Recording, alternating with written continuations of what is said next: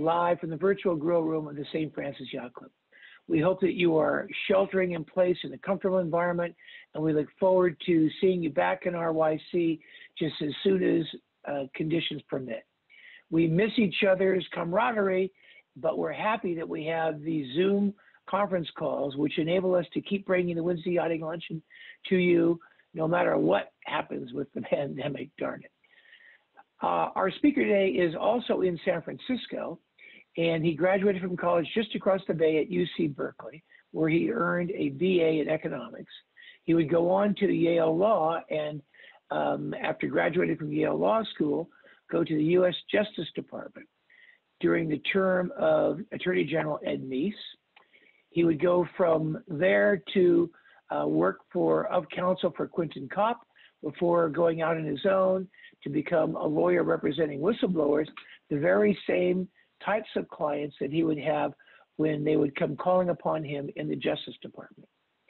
He moved to Telegraph Hill in 1995, and after Julius's Castle closed in 2007, he began to get curious about this once famous landmark gradually atrophying for disuse. That curiosity turned into commitment when in 2012 he bought it.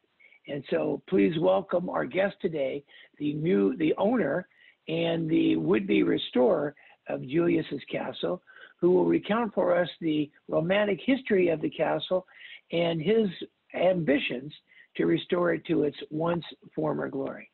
Welcome to the Wednesday Yachting Luncheon, Paul Scott. Thanks very much, Ron. Uh, really appreciate that. Listen, uh, before we get started, you were uh, sharing some of your stories about how you visited the castle when you were a kid and in later years as well. And we really love those stories. Uh, so if folks would like to share any of those stories or old photos, the photos of the interior are, are invaluable. Uh, we'd love to see them. I, I, can give you our email. It's paul at juliuscastlesf.com, P-A-U-L at J-U-L-I-U-S-C-A-S-T-L-E-S-F.com. And yeah, if people could share that information, it'd be terrific. Um, indeed, it's those kinds of stories that are, are why we're doing what we're doing. When I originally bought the castle, I really wasn't sure what to do with it next. It had been, as you say, atrophying in the neighborhood. And so I was trying to decide what the best thing to do was. And frankly, the best economic move would have been to turn it into a residence.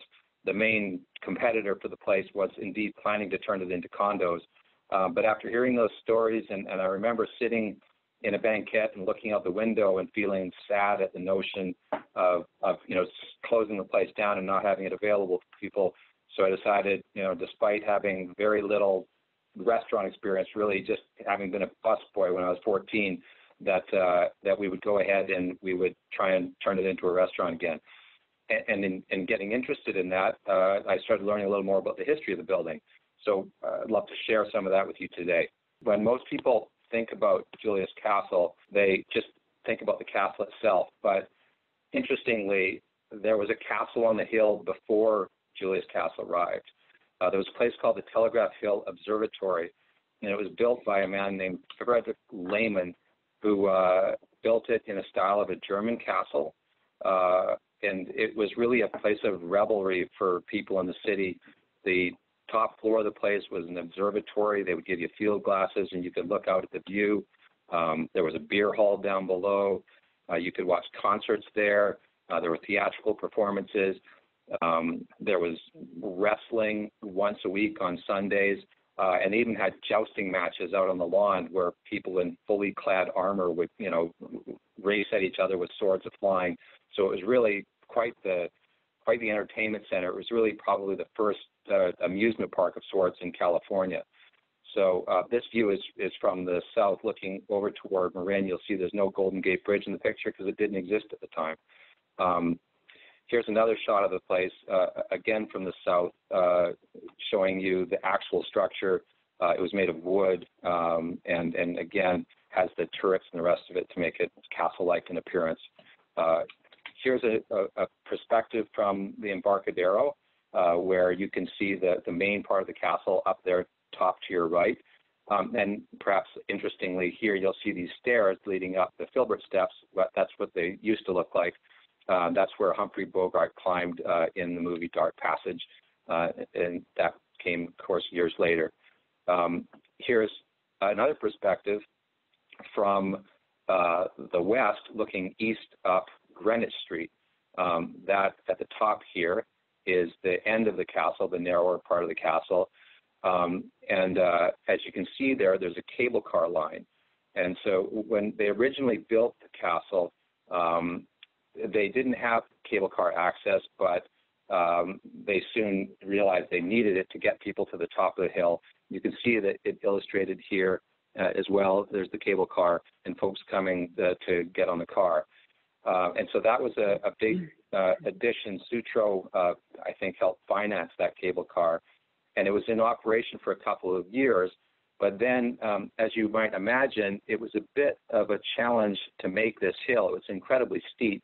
Um, and at some point um, in the mid 1980s, after a year of festivities on the hill, the cable car had a actually terrible wreck and there was a fatality.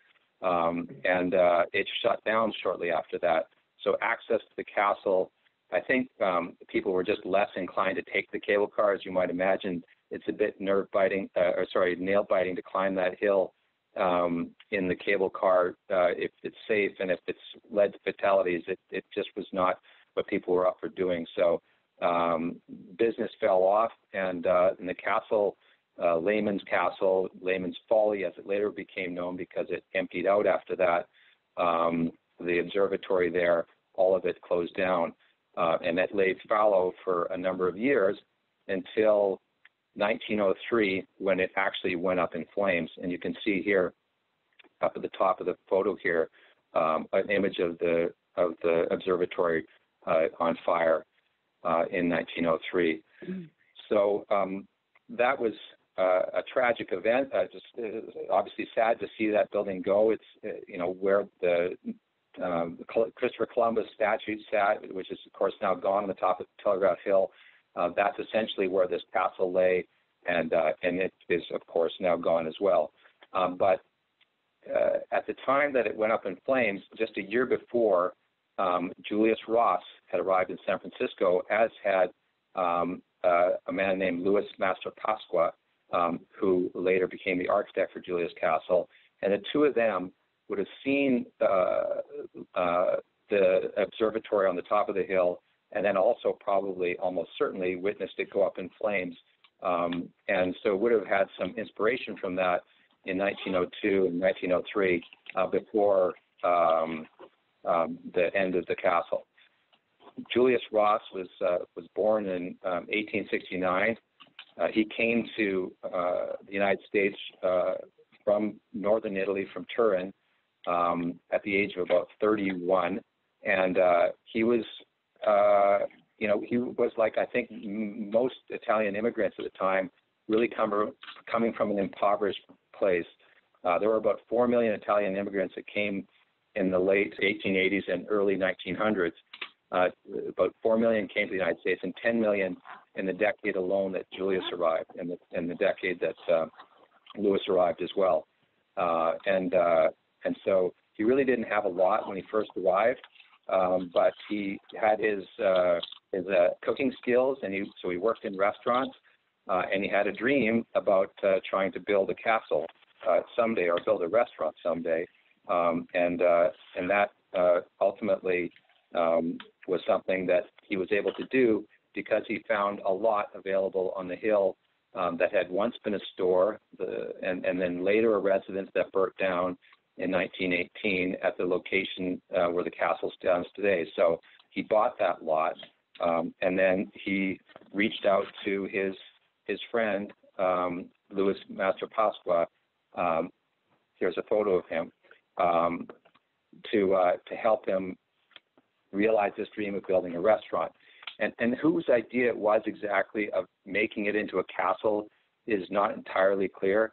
Um, if you look at the background of Mastropasqua, uh, he, he, he built a number of unusual buildings in San Francisco. He was a very creative architect. Uh, here is a, a, building on 68 Macondray Lane. uh, where he's merging uh, different styles of architecture, classical uh, type architecture with the curved bay, and also arts and crafts type um, architecture as well. Here's another uh, building that he uh, that he was the architect for at Kearny and Clay. Uh, the decorative detail on that building is very unusual. You don't see it elsewhere, um, and is evidence again of, of him trying to just come up with something new and different. It seems not being conventional in his style. Here's another building, the Canessa building, um, that he uh, worked on. It uh, preceded uh, the time that he was uh, in San Francisco, but it was damaged in the 1906 earthquake. And um, uh, the record that I've been able to uh, read about this tells us that he added these uh, circular, almost Asian-style windows to the building, and so he really he sort of would defy conventions and do things that suited his fancy. Um, here's another uh, picture of that same building, the Canessa building, um, and you can see if you're uh, Julius Ross walking down the street and you're trying to decide on an architect, some of these look buildings, a lot of these buildings look pretty conventional, and then you have uh, the Canessa building, which looks very different. And, and actually, just to note there, the Black Cat uh, Saloon is downstairs uh, in that uh, building. It was the first openly gay bar in San Francisco. Uh, just a point of interest. Um, in any event, um, so you had an architect that was of you know great skill and and and sort of um, unconventional in his style, and then you also had a man who was not just that, but also an illustrator. Um, Mastropasqua did illustrations um, uh, for, uh, I guess, he sort of moonlighted in, in that fashion for L'Italia, uh, the local uh, uh, daily publication in San Francisco. And uh, so here's an example of an illustration that he did for Fior d'Italia, which is, I think, the oldest Italian restaurant in San Francisco, of um, dating back to um, I'm going to say it's 1886, I think. Um, but in any event, um, here's uh, another of his illustrations. This is a special menu that he did for them um, where he illustrated all of the different characters who worked at the restaurant. Um, he went by the pen name Lama uh, and was well known for his uh, his ability as a as a illustrator uh, and doing these kind of caricatures. Here's an advertisement with a great deal of detail, the same kind of caricatures that ran in uh, L'Italia. Uh, so uh, that's the man that Julius chose to help him build the castle. And uh, there are no photos of the building um, when it was originally constructed. Um, this is the uh, first one that we have. Um, it's an illustration, obviously. Um, when when construction began on the building, um, it, it's estimated that it happened in 1923. Um, that's what the permits say. Um, there's a plaque on the front of the building, though, that says 1922. Um, so it's unclear to me whether, uh, in true San Francisco fashion, they built it first and asked for permits later. Um, but uh, the the one thing that we do know is that after this first um, part of the construction occurred, with the one turret um, by 1923, and when you know customers were being served, the place began to uh, pick up steam pretty much immediately, um, and so construction ensued, and an addition was added. As you can see, a second turret was added to the end of the building. So by 1928, the castle had filled out its full footprint that you you see today. Um, after uh, after some years later, that's where we have our first uh, photo of the building. This is how it looks in, in 1939.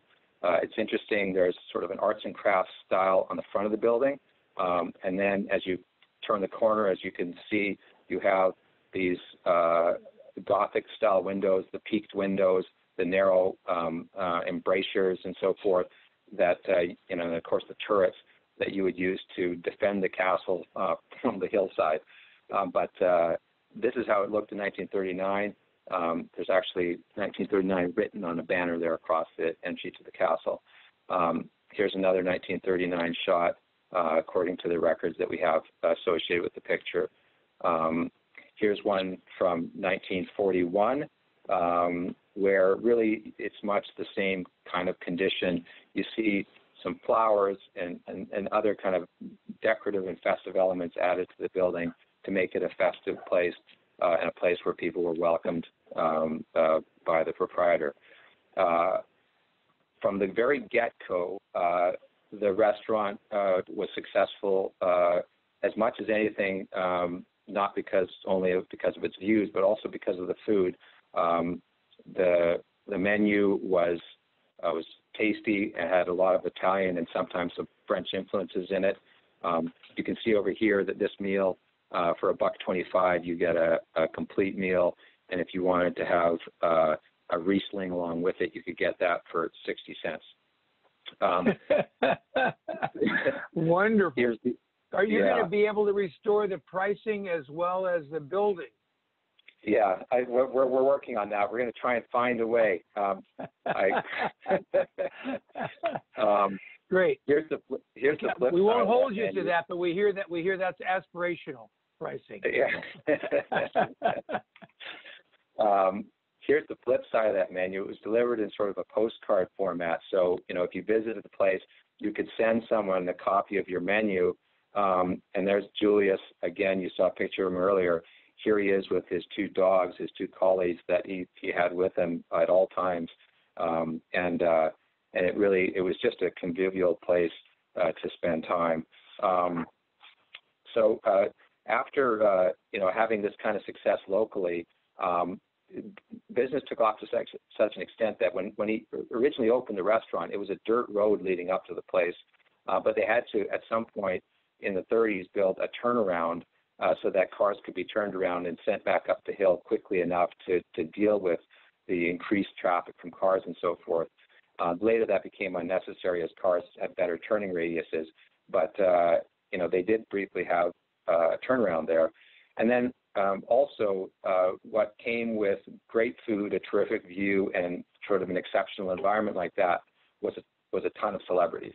Um, I think in the uh, blurb that we circulated with this talk, uh, you know, you've already heard about Robert Redford, Sean Connery, Marlon Brando, um, you know, folks like that, Sir Edmund Hillary, Star Wars cast, and that sort of thing. They all visited the place uh, to enjoy a view and, and, a meal there.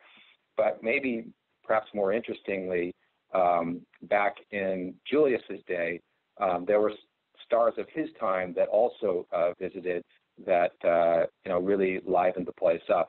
For example, um, uh, Jackie Coogan, the kid in this picture from the movie The Kid with Charlie Chaplin, uh, he he frequented the restaurant. Um, another uh, famous star at the time, Douglas Fairbanks, known as the King of Hollywood. Um, not sure if folks know, but I think he was the first person to host the Oscars. He was one of the founding members of United Artists. He hung out there. Um, Lon Chaney, um, who uh, you know starred in The Hunchback of Notre Dame, the original film version of the of the production. Um, he also uh, spent time there. Just as some examples, you had some real star power. Of course, Cary Grant. Uh, I think it's well known that he uh, would uh, visit the castle. Um, similarly, Ginger Rogers. Uh, so it just has this really colorful history of interesting people who came through, visited the place, were charmed by it, and, and really had terrific experiences there. Um, uh, Dashiell Hammett, uh, he even uh, set a scene there in one of his novels uh, where Sam Spade visited the castle with his secretary, um, and uh, and so it really it had quite the quite the history of stars and celebrities in the time that Julius Ross was alive, um, who who would visit the place.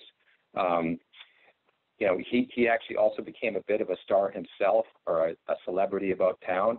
Um, you'll you can read stories about mm-hmm. Julius driving about town in his 1930 Chrysler Imperial, um, and uh, you know this is uh, a, a, you know kind of a faded old version of his car. Um, it matches up pretty well with uh, one of the cars that I've seen and, and that I showed you in an earlier uh, photo of the castle. Um, Perhaps a better likeness in terms of color would be something like this. It's a 1930 Chrysler Imperial, but the color is probably more like what it would have been back in Julius's day. Uh, you can see the rumble seat in the back. Julius liked to have his two dogs sit in the back, and he actually built a little windshield visor for them so they could travel about town with him and not, uh, you know, and be comfortable back there. Uh, so it was, you know, he was a spectacle in his life, not only at the castle, but also just in the way he carried himself about town. He was a, a special individual. Um, he, he really did live quite the life. Um, he died in 1947, and, uh, and, and when you think back about the man's life, uh, in addition to the castle, just all the things that he would have witnessed uh, from the castle, he would have seen, you know, the Bay Bridge being built. You could have sat there and had a meal and seen the bridge get built. You would have seen um, Treasure Island get dredged up uh, for the, the fair that they held at, uh, at on Treasure Island. Uh, you would have seen the naval ships coming and going during World War II for to supply the war effort. So all of that would have happened uh, during Julius's watch, and um, and it was it was definitely a sad time when he passed away. Um, but uh, when he did pass away, uh, the magic of the castle, of course, still stayed, and, uh, and it was the inspiration for a couple of movies. Um, the movie The House on Telegraph Hill uh, was uh, situated at Julius Castle. Um, they took great liberties with the facade of the building when they uh, filmed the movie there, though. If you look and you see um, them beginning their efforts here, you can see the beginning of a construction of an entrance for uh, the, the the building that would ultimately be, you know, constructed there at the castle. This is how it actually looked when they were done. So it was completely different um, at the end in the movie uh, in terms of how the building looked than it did in real life. Um, but I would note that they, they built this, and we can maybe go back a slide, uh, to this. They, they added a turret to the neighboring building, perhaps as an homage to uh, uh, Julius and Mastropasqua's uh, fantasy castle that lay behind the house on Telegraph Hill. Um, but this is what it looked like in the movie. About the only thing that's uh, a dead likeness is this rail and that light, which remains there today. Um, but uh, and, and the interior, uh, unfortunately, doesn't look exactly like that. That's uh, courtesy of Universal Studios. But the movie was set there, and all the locations are the same. The cars come and go from there, so it's a, it's a it's a still a point of interest. Um, another movie that uh, that did some filming there was uh, Raging Tide. That was also 1951. Uh, here's a shot of Shelley Winters coming out of the uh, building uh, after a, a, moment inside the building. So, uh, you know, the castle still had some charm, and you know, the the glow from Julius's reign uh, was lasting on uh, into this uh, early 50s period.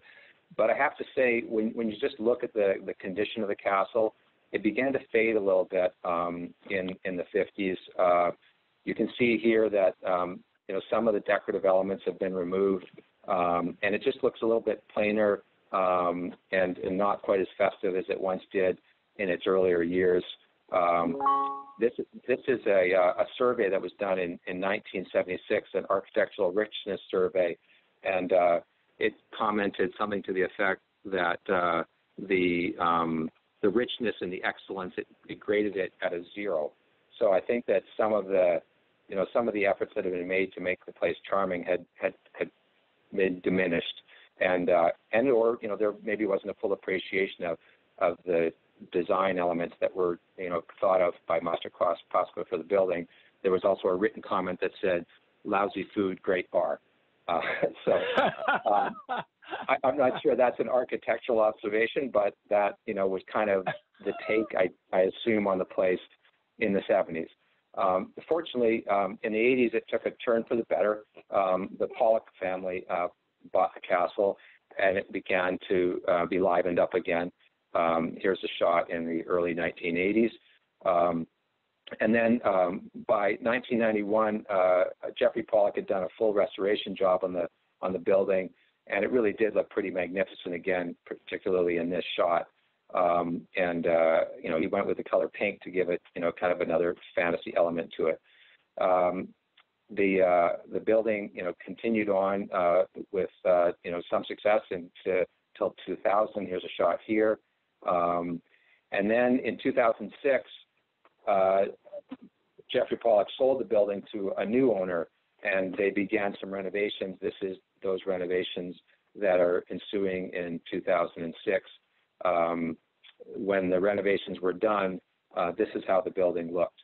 Um, and unfortunately, the, the owner who had it in, in this time frame just didn't have a lot of luck with the building. Um, they landed up uh, expanding the envelope. If you look over here, actually, you can see how the the building was built out over this uh, was a, a, roof line, which is an important arts and crafts element to the the design that Pasqua came up with, and they pushed out this uh, space behind it to to hide that roof line. Um, and uh, so that was a problem with the city uh, when the um, the owner at the time uh, landed up having, uh, and I guess apparently the neighbor reported him, um, and uh, and the answer to that was to buy the neighbor's building um, to hopefully, I think, um, you know, get some peace. But of course, once the city was rolling, um, there was really nothing that could be done. So there were issues with the city in terms of you know this, these changes to the envelope. There was a lawsuit with the operator, uh, and the place just it went in. It closed in 2007 and uh, and and lay fallow for a, a period of time. Um, that's what it looked like in 2012 uh, when the owner was in bankruptcy. And again, you can see this wall that's been pushed out here. Um, uh, was in bankruptcy, and uh, and that's when I decided to um, you know take a gamble and uh, and, and and and and purchase this building. Um, so uh, when I first bought it, um, I thought, well, how bad can it be? Um, it's uh, you know I had done some um, development work of modest uh, you know proportions, and I thought we could you know push this thing forward. And I actually planned on having it open for the America's Cup in 2013, um, and uh, of course that didn't happen. Um, there have been a, a, number of hurdles that we've had to deal with in trying to get the uh, restaurant open again. Um, the first of which was these uh, changes to the envelope required us to, um, you know, to get authorization from the city to alter it back in a way that would work for them and also as a practical matter to operate the restaurant. That took a couple of years. Um, in the course of um, submitting plans to the city, we recognized that the building was over the property line on both the south, um, east, um, and northern uh, boundaries. Uh, so, of course, we told the city where these issues were, and that led to a great deal of consternation because on the north side we were bordering Pioneer Park, and you can't lease or buy parkland from the city um, unless you amend the charter of the city. And so that led to two years of the city's greatest legal minds puzzling over what we were going to do and ultimately, I think, throwing their hands up in the air and writing us a letter that said, well, we realize you're on our land, but go about your business. Um, so we have proceeded from there, even though we're still um, um, uh, north of the property line on the yeah on the northern boundary. Uh, on the other two sides, those are essentially streets on the south side and the east side. So that's not a big deal apparently to solve with DPW, and we've solved that issue. I should mention, just as a matter of completeness, that on the western side, we're not over the property line, but the other folks are on our property. So we're pretty complete in having issues on all sides of the building. Um, we, we, we, so you don't want to leave one of the sides without a no, potential. Yeah, I don't even want to know what's going on underneath the building. But uh, but yeah, so so that's that's basically the condition of the building as as we took it on. Um, in addition to those hurdles with the property lines and the, the alterations that we had, you know, once we got that stuff, the, the, the envelope sorted out, we applied for a conditional use permit. I, I, I initially was not of the mind that we even needed a conditional use permit because it had historically been a restaurant. And uh, San Francisco has grandfathered conditional use permits for places that have been there a long time. They don't actually, somebody didn't apply for a conditional use permit back in um, you know 1922. They just started a restaurant, and then later in time, when those became a requirement, the city um, recognized that those restaurants in place essentially were grandfathered in. Um, but and and we figured that was true with us, but the city said, well, you know, you've been you haven't been operating for uh, for more than three years, so it's an abandoned use. Um, and of course, we didn't believe that it was abandoned, but um, um, Supervisor Peskin at the time said, hey, look, the, the, neighborhood has some concerns about how it's operated. And um, so we thought, why not just go through the exercise again of getting another conditional use permit? So we sat down with him and we sat down with Jeffrey Pollock and we came up with some conditions to make everybody happy. And those got enshrined into the conditional use permit that we ultimately got. You would have thought that would have been good enough, but then, you know, because the planning commission granted us the, the permit, you know, unanimously, uh, but some folks still objected and appealed that to the board of supervisors. So that took a good chunk of time, and then we had a hearing for the board of supervisors, and uh, and you know won that unanimously as well. So I thought, great, we're done now. We can you know move forward with this. Um, but of course, uh, after that, uh, there's always the courts, and so someone, a few people filed a lawsuit, and that took an extended period of time um, to deal with as well. And ultimately, we won that in convincing fashion also.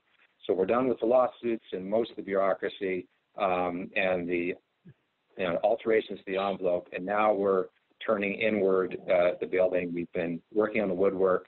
Um, he, here's how the exterior now looks today. That's a very sort of monochrome palette um, by design because it's going to have decorative, elements against it. So this doesn't really give you a fair representation. Um, but uh, here's a, a shot uh, from the east that maybe gives you something of a better idea. You see these gold glints. There will be more of that and some other elements that we add to the front of the building as well. But the envelope is looking pretty good now. Um, and as I say, we're working on the woodwork and we're working on, you know, trying to move ahead with what we need to do to reopen the restaurant uh, once again. Um, of course, COVID has now added another uh, dimension to the discussion as well. Um, but uh, we're, you know, trying to proceed as best we can um, and uh, and get to a place where, God willing, when we're all uh, able to gather together, um, you know, your members and you know my friends and people in the neighborhood and people from outside San Francisco will be able to come back to the castle and really have some good times there once again. So that's the plan. So thanks, Ron, for letting me share that. Wonderful. Um, Paul, holy cow, uh, ambitious and also very, very fun. Uh, San Francisco is famous for entrepreneurs, and so you're, you know, falling in line with all kinds of traditional San Francisco um, activity. Uh, how many seats did it have in those days, and how many seats will you expect to have in Julius's Castle when you open for lunch food again? Well, the top floor of the restaurant actually used to be a residence. Julius lived there with his wife and his daughter and his two dogs. Um, and downstairs was a garage. Uh, and over the years, those spaces have been expanded just because of the popularity of the place. So presently, there are 115. Um, I think the capacity of the place is about 150, and you know, so with staff and the rest of it, you'll end up in the hundred and teens as you know the number of patrons you can have at the place. Okay. And um, how would you characterize the cuisine back in Julius's heyday? And then, so give me some description of it. Uh, how would you characterize it? And what do you, what's the cuisine going to be when you open? That's a great question. Um, the cuisine was really, you know, continental, I would say. Um, there was both Italian and, and French influences on the menu. Um, and, and that's where we're probably going to head with this as well. Um, you know, we, we've looked at the menu over the years and it's t- stayed more or less consistent with that. Of course, you know, we're going to want to have, um, you know, seasonal products, uh, you know, and so there's going to be a California influence as well in terms of what's available. Uh, we're trying to be environmentally sensitive, so that's going to, you know, affect the equation also. But really, in terms of the theme, we're really not going to stray too far from, you know, the history of the place. Um, so I would expect it to be continental with maybe some odd, uh, you know, California style dishes thrown in as well. Now, one of the one of the things I remember as a boy when my folks would take us there, um, and it was kind of an occasion restaurant. We would go there Sunday night, and we'd go there for big events. Uh, and uh, you know, when you were a high school kid, you that was one of the places you could go for senior ball and things like that. It was like a cool uh, occasion restaurant. Um, are you expecting it to be like that again? Is it always going to be that from your view? I sure hope Special so. occasion? I mean, well, it, it, there's there's no avoiding the fact that it's going to be a destination for folks and a, a place for special occasions. And honestly, that's that's a large motivator for for me doing this um, is to have it be a place where people from the city and from California and outside, you know, even the U.S. come to visit because those are the stories I've heard, and it's great to hear people tell me, you know, about their fond memories. Uh, actually, in the bankruptcy court, I remember the judge himself saying, "I remember I had my first job interview at Julius' Castle." So it's just like everywhere I turn, there's somebody with a story about the place, and I and I want that to continue. Um, that's a that's a big you know motivation for me in doing this. Um, but uh, that said, I also am hoping to make it a bit of a local um, for the people in the neighborhood. I'd like it to be accessible, you know, for there to be some things on the menu that make it an attractive, you know, place for them to stop and have a bite, grab a beer or wine, you know, and just kind of socialize with other people in the neighborhood. So we're going to try and find that sort of a balance between it being a local and also just a great place uh, for people to go from, you know, near and far. In the early 70s, I was recruited to be the youngest of six owners of a restaurant called Shandygaff on Polk at Washington. And I was told after that experience, um, a man is not a man until he's lost his butt in either a magazine or a restaurant. And at that point, I'd had ownership in a, a magazine called Kids Magazine on the East Coast.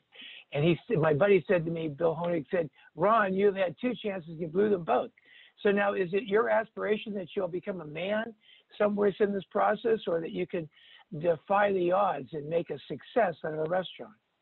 I, well, you know, I I really I, at this point it's complete roll of the dice. I'm pretty much doing it because it feels like destiny. Um, as I said, I really had no, you know, particular dream of being a restaurateur. This this building has sort of captured me, and so I'm you know trying to realize that dream of the building and for the folks who were interested in coming to it and we, you know, we'll be bringing in people who have that same dream. Um, but uh, I would say what I'm really trying to avoid is that what do they say about boats, where the second uh, happiest day in a man's life is the day he, he buys a restaurant. I'm hoping that I, I do not live that cliche. Um, so I'm hoping it's actually the the happiest day when I open and it stays that way. So part of the tradition or the early heritage was they had wrestling nights and they made kind of amusements out of this. Um, is this a no holds barred kind of a play, or have you already drawn the line and said you're not going to have wrestling? No, wrestling was at the Telegraph Hill Observatory. That place went under in two years, so not, there's no wrestling. I mean, certainly not no. public uh, display. Um, So now, in the original pictures that you showed in the early history, that Telegraph Hill Observatory was farther up on the top of the hill because that looked like it was on yeah, the top yeah. of the hill. Yeah, it was. It was okay. like, like like I said, it's Pioneer Park, uh, where um, Coit Towers parking lot is, the north lot. That's where um, the observatory is located. And so, what's the elevation currently of Julius's castle? How high up do you, by chance, happen to know the elevation? Are you 150 feet above water? What do you know? I, I, I wish I could answer that for you. I can't. Um, it's a couple hundred steps, I would say. And uh, and I would just add that's one of the things we're going to try and do um, is is encourage people to actually walk the steps. Um, with the advent of uh, you know these scooters and electric bikes and so forth that you know can power people to transport themselves individually, we'll be trying to encourage people to do that again. Um, we're trying to be sensitive to the neighborhood, so we're thinking about those things in terms of you know access and um, and the elevation you know does make it tough to get to, um, but it's also what gets you your view. So that makes it worth it. So did Julius did Julius have any children? He did. He had one daughter. Yeah. And there was no. Did they continue after he passed away? In yeah, I'm not um, aware of any living descendants of Julius Roz. Um, if they are out there and they see this video, I would love to hear from them um, and uh, you know have them share some of their history. Um, and I know there's been a lot of good times at that castle in ensuing years with all the owners. Um, have you know had some you know exceptional experiences with the place. So now, what are the next hurdles in terms of opening it, and when do you expect you might be able to open? Uh, well, are they zoning hurdles or just construction time? Well, we're, we're, we're, we have to do some ADA access work now. Uh, that was another thing that's literally taken, you know, we've been at it for over a year on coming up with a plan that's going to um, allow some ADA access. Um, as it has operated over the decades, it's never really had ADA access. So we're going to create that on the ground level of the castle. Um, so we have to do some work with the sidewalk, which means taking it out into the street. And you know, one of the suggestions that was put to us was that we needed to raise the entire street in front of the castle to solve the problem. Um, so it's that kind of discussion. Those are the kind of conversations that we have pretty routinely. I think we found a better solution, honestly, for that, but we do need to create that access, um, and uh, and we, we, we need to continue and to finish the build out. Uh, unfortunately, working with planning right now is pretty difficult. Um, you know, we've had you know just recently we've had a mechanical permit sitting there for months, um, and they just you know they're they're in a tough spot with uh, the the situation with COVID, and so things aren't moving as quickly as we'd like. We ha- we do have a terrific person in the uh, preservation uh, uh, division at planning who is helping us now, and uh, so he's great to work with. And uh, you know, I think folks want to see it happen. Um, you know, there there've been some hurdles over the years, but I think people are of a like mind that this is a, a terrific San Francisco institution. Um, you know, it preserves the history of the town. It's something special. Um, I think everybody would love to see it you know, come together. So, did I miss what? What if you were to throw a dart at the wall across the room at an opening date? Where would that dart land? What date yeah, are you imagining? Yeah. That was uh, I, I, that was uh, an astute uh, observation. I, I did dodge that question. well, let me put it this way: I've been saying since uh, 2012 that it'll be open next year. Um, so uh, I'm still at work. I honestly, I say, you know, I, every time I think that we should be, you know, on a good path, something else rears its head. I really don't think that's likely that it's going to get delayed out that much further.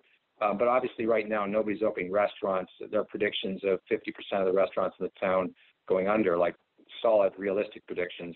Um, so, you know, we really have to be thoughtful about, you know, when we would open again um, it, you can't really make a living with a restaurant just doing takeout and the rest of it. So we do have those limitations, but we're going to try and move the ball ahead. And so when you know the day comes when you know we've got uh, you know uh, some relief, a vaccine, what have you, from the problem, and people are able to get out again, uh, that will be you know near or close or ready uh, to go. So like I guess if I was to be held to it, because I just dodged your question again, I would say probably within a year. wow.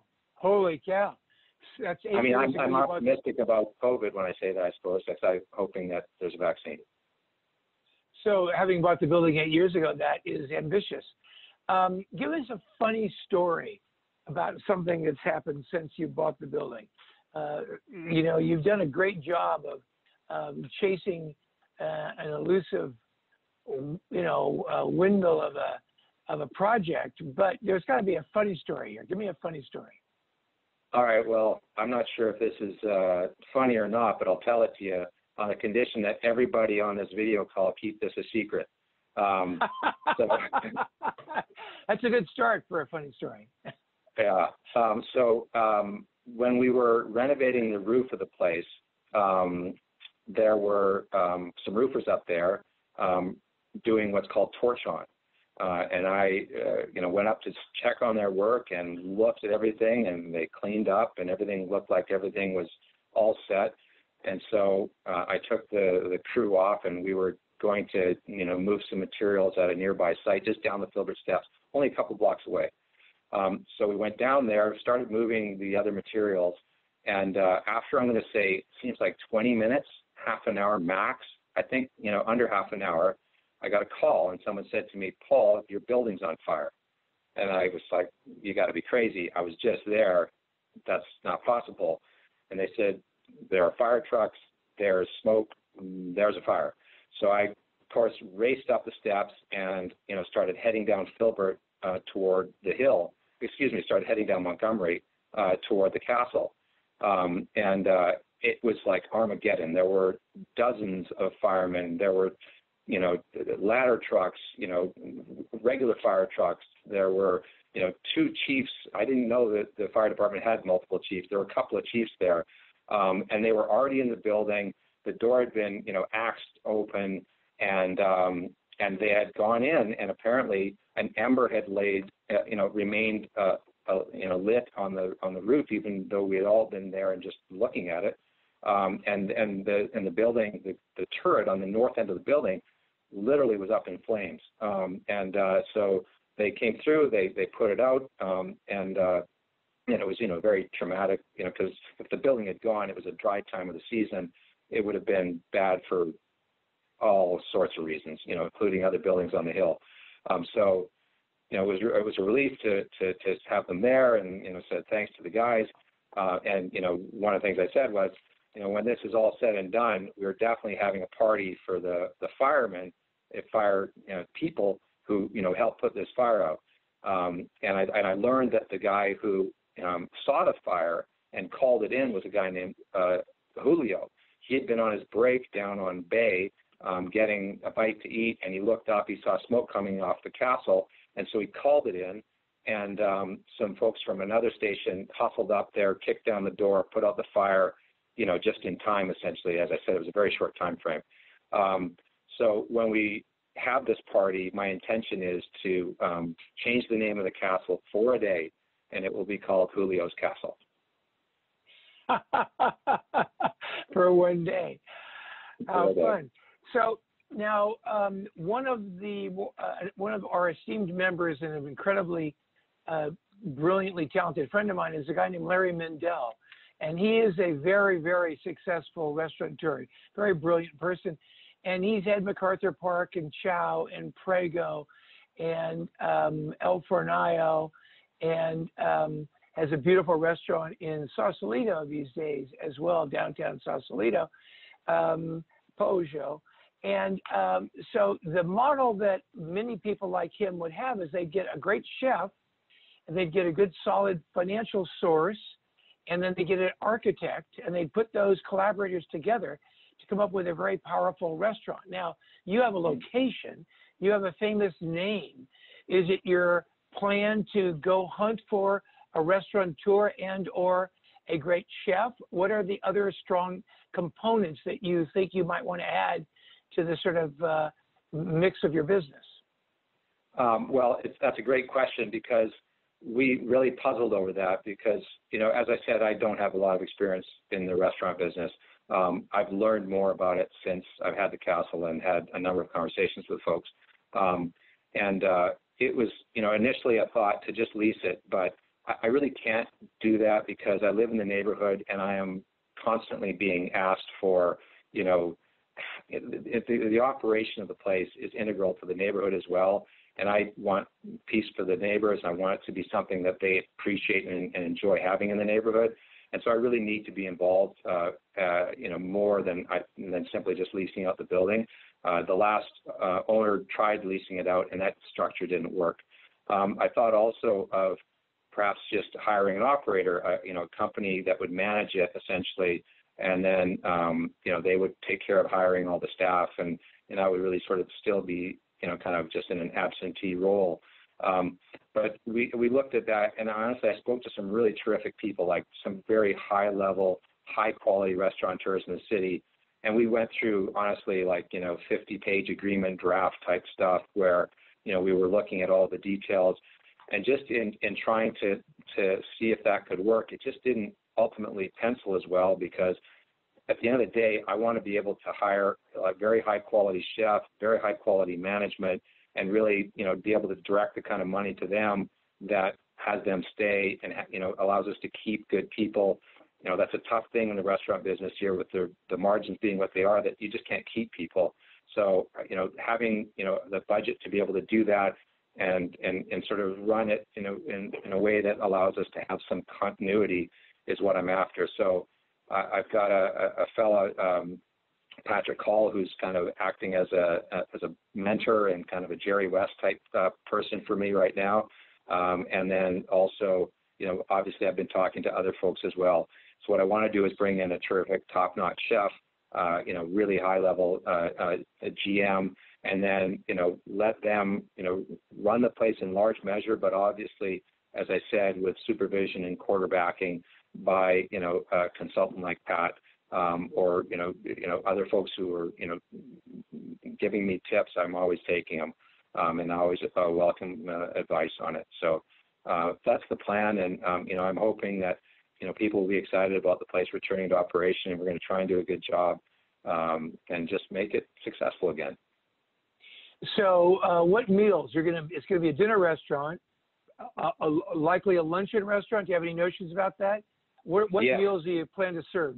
Lunch and dinner? Would you imagine breakfast? What's your picture now? My my my guess is it, it historically has been a place for dinner um, seven nights a week, and will likely you know continue that. I think that it's also possible to do a brunch there on Saturdays or Sundays, um, and because that I think would just you know there's the, all the open deck space on the on the back of the building and elsewhere. Um, it's also something that would be nice for folks in the neighborhood, I think, to be able to wander down the street and have brunch there on a weekend.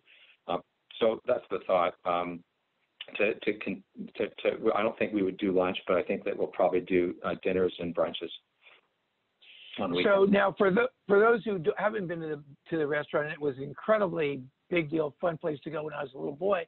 Um, tell people when you look west, how far can you see from west to east? What's the westernmost edge of your view, and what is the easternmost, southernmost edge of your view? Well, How you far can west see can you see? Alcatraz. You can see Alcatraz as you look to the west.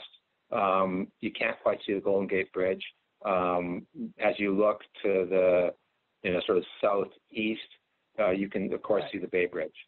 Um, Mhm. So it's a very pano- panoramic view. I mean, it's a, it's a spectacular view. There's a reason that you know folks are interested in turning it into a residence um, because of those views.